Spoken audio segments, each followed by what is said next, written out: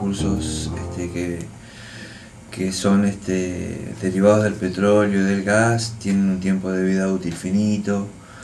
Eh, también sabemos que esos, esos recursos que se utilizan para generar energía fundamentalmente también impactan en el medio ambiente negativamente. Y el sistema energético de alguna manera estaba, sobre todo en momentos de, mucho frío, de mucho calor, donde hay mucha demanda, estaban muy cerca de este, juntarse la oferta con la demanda, la oferta energética con lo que se consume.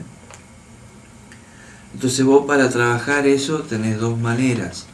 Una es haciendo más obras y generando más energía, que sería aumentar la oferta, pero hacer las obras y generar la energía implica un tiempo mínimo, indispensable, que es este, bueno, todo el estudio del proyecto de ingeniería y la realización de la obra. Mínimamente estamos hablando de un año. Y el otro efecto es trabajar sobre la demanda, que la demanda es usar la energía racionalmente, gastar realmente lo que vos consumís, no gastar de más. Este, entonces dijimos con el secretario y en esto también participó el gobernador, se dijo, bueno, trabajemos sobre los dos ejes.